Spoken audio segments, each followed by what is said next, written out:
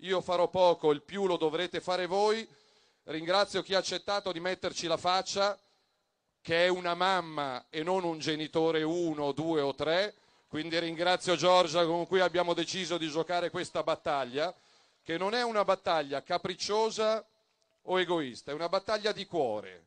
sia da parte sua che si mette in gioco, sia da parte mia che mi sono sentito dire di tutto non tanto da Berlusconi quanto da qualche fenomeno che lo circonda che se si presenta non piglia neanche il voto dei suoi parenti perché ce lo diciamo sottovoce il problema più che Berlusconi è qualcuno che lo mal consiglia lì intorno. Però faccio finta di non averlo detto e di non aver parlato davanti a nessuno quindi ringrazio Giorgia